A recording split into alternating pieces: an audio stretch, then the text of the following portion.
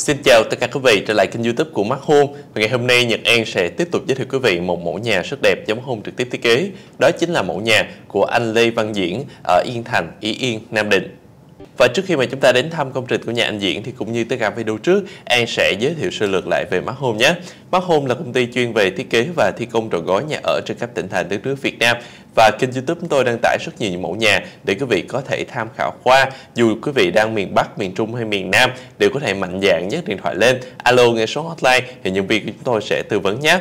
Kênh youtube của chúng tôi sẽ, sẽ có nhiều kênh khác nhau Ví dụ là những kênh chính là kênh Mắt Home, Nhà đẹp Mắt Home hoặc quý vị có thể truy cập vào kênh Nội thất Mắt Hôn hoặc Nhà phố Mắt Hôn nè Ngoài ra thì Facebook của chúng tôi sẽ có fanpage là công ty cổ phần kiến trúc và xây dựng Mắt Home. Website thì sẽ có website là markhomegroup.vn hoặc là thiết kế thi công rồi gói.com. Rất nhiều nền tảng để quý vị có thể tham khảo qua nhé. Hiện tại thì à, chúng tôi đang à, tư mừng đó chính là khai trương mắt home Hà Tĩnh thì tặng ngay một cuốn catalog mắt home và một bộ cốc cao cấp khi ký hợp đồng thiết kế nè cũng như là tặng nghe một chiếc Honda Way Alpha 2023 khi ký kết hợp đồng thi công trọn gói à, cho nên là nếu quý vị có nhu cầu à, thì hãy liên hệ ngay số hotline để được nhân viên chúng tôi tư vấn nhé Trở lại với ngôi nhà của anh Diễn thì à, đầu tiên sẽ mời quý vị chúng ta xem qua à, 3D ngoại thất ở bên ngoài của công trình này trước. Nhìn từ bên ngoài thì quý vị sẽ thấy là đây là công trình là hai tầng mái Nhật với phong cách hiện đại. Đây là một cái mẫu nhà hiện tại cũng rất là được chuộng của mắt hôn nha quý vị. Thật sự thì nhà máy Nhật thì em nói rồi nó chưa bao giờ là giảm nhiệt hết bởi vì uh, trong những cái dạng máy mà uh, mắt hôn chúng tôi hiện tại là đang thi công đó chính là máy Nhật nè, máy Thái nè, máy bằng nè, máy Mansa nè, thậm chí là máy lệch thì ờ, uh, máy Nhật nó luôn luôn được yêu thích nha quý vị. À, và lúc trước á, thì người ta không quá chuộng máy Nhật đâu. Nhưng mà các năm gần đây thì thật sự là cái xu hướng mà thiết kế máy Nhật nó ngày càng nhiều ở Việt Nam của chúng ta lúc trước thì người ta hay định kiến à, người ta nghĩ rằng máy Nhật là máy lùn à, tức là nó không có độ cao ấn tượng bằng những cái loại máy khác cho nên là nhiều người rất là e ngại khi mình lựa chọn máy Nhật. Nhưng mà dần dần qua thời gian thì người ta nhận ra rằng à, một ngôi nhà đẹp thì cũng không nhất thiết là máy nó phải quá cao đâu quý vị. À, cho nên là dù là cái độ cao của máy Nhật thì cũng đã đủ đảm bảo cho ngôi nhà của quý vị nhìn nó cũng chỉnh chu rồi. À, cho nên dần dần thì người ta lại bắt đầu trở ngược lại người ta yêu thích máy Nhật ha và với máy Nhật thì An thấy là có cái vẻ đẹp của nó giống như là cái nét đẹp của Nhật Bản đó quý vị. Tức là có thể không quá khoa trương nhưng mà càng nhìn sẽ càng thấy đẹp. Nó có vẻ đẹp gì đó nó um, gọi là uh, nó khiêm tốn một chút xíu. Uh, Thì đó là nhiều lý do mà nhiều gia đình ngày nay người ta lại lựa chọn máy Nhật ha. Và máy Nhật thì sẽ có các dạng là máy Nhật tam giác và máy Nhật bằng. Thì uh, ở công trình này thì nếu mà chúng ta nhìn từ phía của uh, mặt tiền thì chúng ta cũng sẽ thấy được đó chính là chúng tôi sẽ thi công kết hợp luôn. Có khu vực thì sẽ có máy nhật bằng và có khu nhật uh, vực là uh, máy nhật tam giác luôn nha quý vị. Thì nói chung là cả hai loại thì đều đẹp như nhau rồi. Và um, về phần ngói đi thì chúng tôi sẽ lựa đây đó là ngói Fuji có tông màu là xanh ghi nha. Và ngói Fuji là cũng xuất phát từ Nhật Bản luôn à, thường thì quý vị đã biết rồi khi mà nghe một cái vật liệu nào đó mà xuất phát từ Nhật nè thì thông thường người ta rất là yên tâm về cái độ bền của nó đúng không nào bởi vì à, Nhật Bản thì quý vị biết là một đất nước mà có thể là họ không quá chú trọng về cái sự à, gọi là à, đặc sắc ở bên ngoài à, mà người ta lại quan tâm về cái chất lượng bên trong nhiều hơn cho nên là một cái loại vật liệu nào đó mà xuất phát từ Nhật Bản thì quý vị cũng rất là yên tâm trong quá trình mà chúng ta sử dụng ha. Gọi là siêu bền, siêu đẹp và siêu nhẹ luôn nha quý vị. Đó là về phần máy của công trình này. Bây giờ sẽ nói tiếp đến đó chính là thiết kế bên dưới.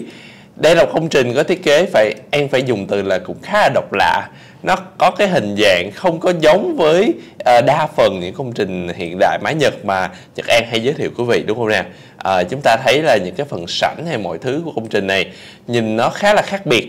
Uh, thì nói chung là uh, chúng tôi cũng sẽ căn cứ vào gọi là uh, cái yêu cầu của quý vị ha hoặc là uh, cái sở thích riêng của từng gia chủ mà chúng tôi sẽ thiết kế nên một cái mẫu nhà phù hợp nhất cho quý vị. Không nhất thiết là phải giống với những ngôi nhà khác với công trình này thì màu sắc chúng tôi sẽ sơn đó là màu trắng nè sơn màu ghi nè. Rồi à, một số khu vực thì chúng tôi sẽ ốp ví dụ bên dưới chân tường thì chúng tôi sẽ ốp gạch giả đá nha quý vị. Còn bên dưới những trụ cột thì chúng tôi sẽ ốp gạch việt nhật. Bên cạnh gạch việt nhật thì quý vị có thể lựa chọn ví dụ là Inax. INAX thì nó cũng sẽ có nhiều ưu điểm ví dụ là sử dụng là công nghệ Micro nè, uh, Luster này ha hay là uh, nói chung là nó sẽ kháng nước cũng khá là tốt thì INAX thì giá thành nó lại khá cao. Cho nên là nếu chúng ta lựa chọn Việt Nhật thì giá thành nó thấp hơn một chút xíu.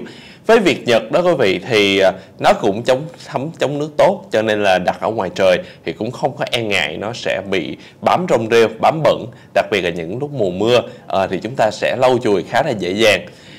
Với công trình này thì có một điểm nữa An khá chú ý đó chính là cái lan can ở trên tầng 2 đa phần những cái lan can của nhà hiện đại thì uh, quý vị thấy là uh, sẽ là lan can kính cường lực. Nhưng mà công trình này thì lại khác biệt. À, chúng ta sẽ không sử dụng lan can kính cường lực mà sử dụng lan can thép hộp sơn tĩnh điện. Ở đây cụ thể chúng ta sẽ sơn màu ghi à, với những cái lan can thép hộp ở nhà hiện đại thì à, quý vị thấy là đa phần là gồm những thanh nó cách đều với nhau à, và song song với nhau thôi khá là đơn giản. Còn ví dụ đây mà là một công trình tân gỗ thì cái lan can nó không đơn giản vậy đâu. Nếu mà công trình tân gỗ thì lan can sẽ có nhiều những cái hoa văn họa tiết trang trí cầu kỳ có những cái đường cong à, tinh xảo hơn. À, thì tùy theo phong cách của từng ngôi nhà mà chúng tôi sẽ thiết kế cho hợp lý. Bây giờ thì An sẽ nói đến một cái bộ phận mà cũng đóng vai trò khá là quan trọng về thẩm mỹ cũng như là cả liên quan đến phong thủy của công trình luôn. Đó chính là cửa chính nha quý vị. Cửa chính ở đây thì chúng tôi sẽ sử dụng là cửa gỗ liêm Nam Phi, kính an toàn 8,38mm và kích thước là 2500 x 2700mm. Với cửa chính đó quý vị thì cũng có nhiều chất liệu để chúng ta lựa chọn. Ví dụ là những gia chủ miền Bắc thì em nói rồi rất là chuộng là gỗ liêm Nam Phi. À, gia chủ miền Nam thì lại à, chuộng là gỗ căm xe hoặc là gỗ gõ đỏ. À, còn nếu như quý vị muốn chúng ta có thể lựa chọn cửa thép vân gỗ cũng được. Cửa thép vân gỗ là một cái dòng cửa giả gỗ thôi nó không phải là gỗ tự nhiên. Nhưng mà thật sự là nếu mà nhìn từ xa thì mà thì cái vân nó cũng rất là đẹp chúng ta cũng khó nhận ra đâu quý vị mà nó tiết kiệm chi phí cho ngôi nhà của mình nhiều hơn cho nên là quý vị cũng có thể tham khảo qua cái chất liệu này Đó là tổng quay bên ngoài của công trình nhà anh Diễn ha. Bây giờ hãy cùng Nhật An chúng ta tiến bên trong. bằng cách An mời quý vị chúng ta sẽ cùng nhau đọc. Đó là hồ sơ thiết kế kỹ thuật thi công của ngôi nhà. Đầu tiên là mặt bằng định vị công trình. Quý vị thấy tổng quan công trình của nhà anh Diễm này ha. À, so với khu đất nè. Khu đất thì cái bề sâu của nó là gần 20m, bề ngang là 16m. Xung quanh sẽ là đất nhà hàng xóm nha quý vị. À, và công trình cũng rất là gần với cái phần đường bê tông ở phía trước luôn. Quý vị thấy từ uh, nhà mà đi ra phần đường phía trước thì cũng rất gần, tầm khoảng 2 mét thôi. Tiếp theo thì xét về hướng nhà, đây mới là cái điều thú vị. Bởi vì công trình này quý vị nhìn thì An nghĩ là nhiều người sẽ lầm lẫn về cái hướng nhà. Chúng ta phải xét giúp An là sảnh chính nằm ở đâu À, với công trình này thì mở khá là nhiều lối cửa cho nên việc xác định sảnh chính thì quý vị phải lưu ý. Chúng ta cứ quan sát giúp em cái cửa nào là cái cửa lớn nhất của công trình thì đó là cửa chính. À, thì quý vị nhìn bên đây phía bên này là cửa hai cánh đây là cửa một cánh một chỗ thì là cửa bốn cánh. Thì chắc chắn là cái lối cửa bốn cánh sẽ là cửa chính rồi ha à, thì đây sẽ là sảnh chính và cửa chính của công trình. Thì so sánh với hoa tiêu của chữ B ta sẽ thấy công trình hướng xuống bên dưới hướng qua bên trái bên dưới sẽ hướng nam bên trái sẽ là hướng tây và công trình của nhà anh diễn sẽ nằm ở hướng tây nam.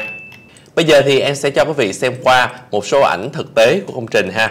Thì đây đây chính là khu đất của công trình nhà anh Diễn khi mà chúng tôi sẽ đến khảo sát địa chất cũng như là sẽ tư vấn ký kết hợp đồng. À, thì chúng tôi sẽ bay flycam và chúng tôi sẽ chụp lại ha quý vị. À, thì đây đây sẽ là à, cái phần màu đỏ sẽ là cái ngôi nhà sau này sẽ được xây dựng ở vị trí này. À, thì nói chung là à, với những thiết kế của Mark Home thì chúng tôi sẽ căn cứ vào thực tế xem là đất của quý vị như thế nào để chúng tôi sẽ thiết kế hợp lý nhất. Bây giờ thì em sẽ đọc tiếp đến đó chính là mặt bằng của công trình. À, thì đầu tiên xem qua tầng 1 ha quý vị sẽ thấy là chiều dài ngôi nhà này sẽ là 14,84 m, chiều rộng ngôi nhà sẽ là 11,32 m và tổng tích sử dụng cả công trình tầm khoảng 270 m2.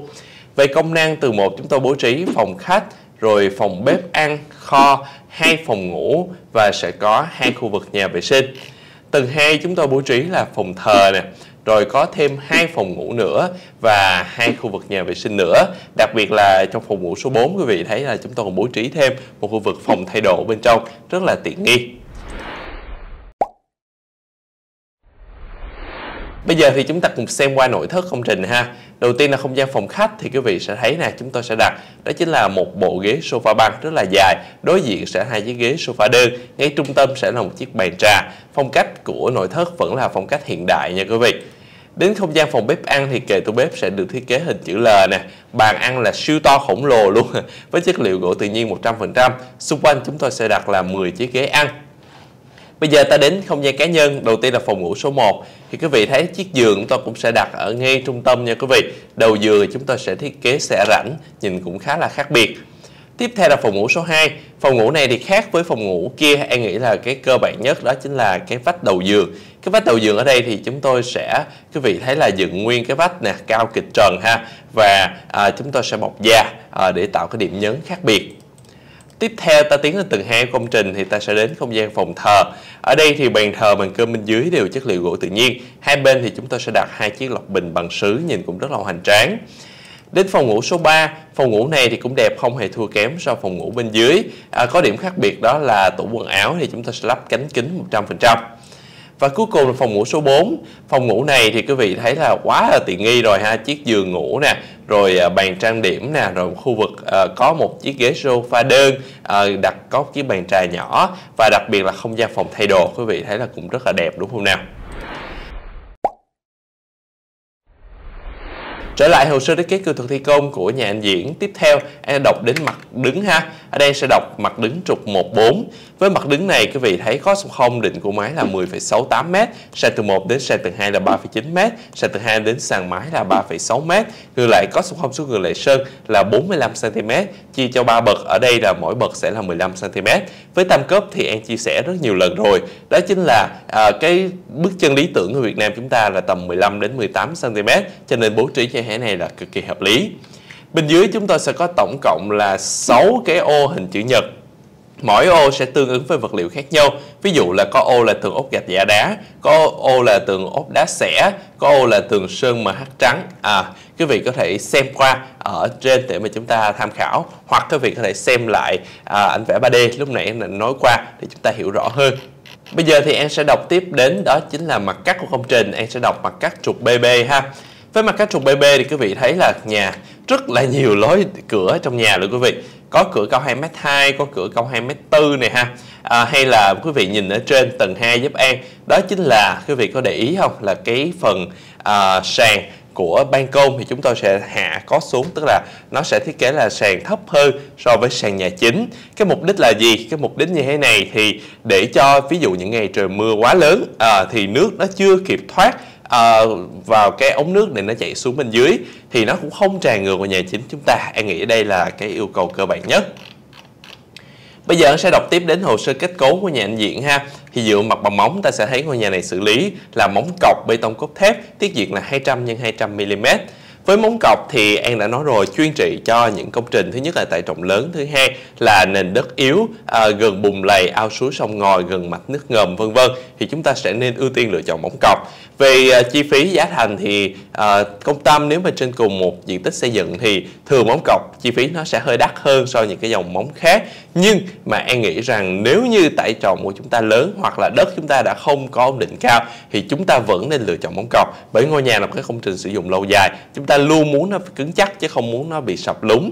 Cho nên là cái việc lựa chọn móng cọc là hợp lý. Và cuối cùng anh đọc đến hồ sơ điện nước của nhà anh Diện ha. Hôm nay sẽ đọc mặt bàn chiếu sáng thông gió của tầng 1 về hệ thống chiếu sáng, chúng tôi sẽ chạy đèn downlight âm trần D90 công suất 7W của mắt hôn chạy dọc khắp công trình. Quý vị thấy phòng khách cũng có, sảnh cũng có, bếp cũng có, cả phòng ngủ cũng có đèn downlight âm trần ha còn uh, ví dụ là đèn led đi chúng tôi sẽ hát là đèn dây led hát trần mắt home uh, à, sẽ đặt ở một số khu vực ví dụ là phòng khách sảnh và phòng bếp. Và thường cái ánh sáng hắt ra thì nhìn cũng khá là bắt mắt. Uh, với ánh sáng thì chúng ta có thể lựa chọn ánh sáng vàng ánh sáng cam hoặc ánh sáng xanh. À, tùy theo sở thích của quý vị thì chúng tôi sẽ lắp đặt như vậy. Còn về thông gió thì sao? Thông gió thì à, chắc chắn là chúng ta sẽ cần ở vị trí bếp và nhà vệ sinh trong nhà vệ sinh, chúng tôi sẽ có đặt thoát mùi WC PVC D110 Còn trong bếp thì sẽ có thoát mùi bếp PVC D90 Vậy Nhật An vừa giới thiệu quý vị công trình của nhà anh Diện ở Nam Định, một công trình mái Nhật hiện đại khá bắt mắt. Nếu quý vị thích mẫu nhà này muốn thiết kế tương tự, đừng ngần ngại liên hệ ngay Mắt hôn với số hotline 096 445 8888 hoặc 08281 33333 để được nhân viên chúng tôi hỗ trợ. Và đừng quên nhấn like, subscribe, chọn nút thông báo để không bỏ lỡ video mới nhất của chúng tôi nhé. Còn bây giờ Nhật An xin kính chào tạm biệt. Hẹn gặp lại quý vị trong những video tiếp theo.